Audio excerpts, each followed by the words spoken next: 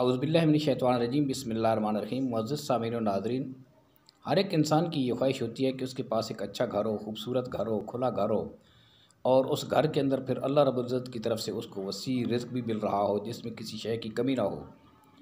اور اگر آپ یہ چاہتے ہیں کہ آپ کے پاس بھی ایک خوبصورت گھر ہو، کھلا گھر ہو، اور اس گھر کے اندر آپ کی فیملی ممبرز جتنے بھی ہیں، ان کے پاس رزق کی کسی چیز کی کمی نہ ہو وسیع رزق ہو، جو چیز آپ طلب کریں، اللہ رب العزت آپ کو وہ پوری کر کے عطا کر دے۔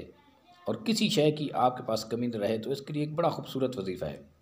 اور وہ وظیفہ کیا ہے کہ اللہ مغفر ذنبی ووسلی فی داری وبارک لی فی رزقی۔ اللہ مغفر لی ذنبی ووسلی فی داری وبارک لی فی رزقی۔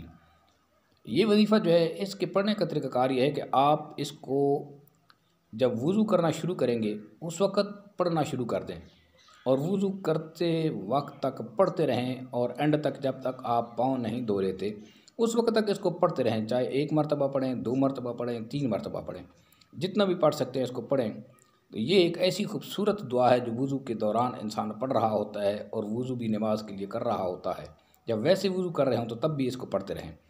یہ دعا جس وقت انسان مانگتا ہے تو سب سے پہلے اپنے گناہوں کی معافی مانگ رہا ہوتا ہے کہ پروردگار عالم میں نے جتنے گناہ کیے میرے سارے گناہ معاف فرما دے اور میرے گھر کے اندر وسعت دے دے، برکت دے دے کھلا پن دے دے اور اسی طریقے سے رزق کے اندر وسعت مانگ رہا ہوتا ہے، برکت مانگ رہا ہوتا ہے۔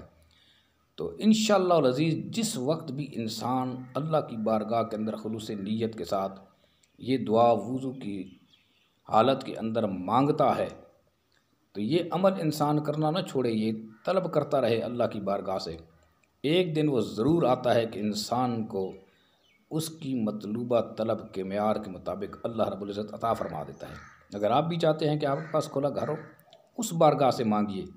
جس بارگاہ کے اندر سے کسی شے کی کمی نہیں ہے۔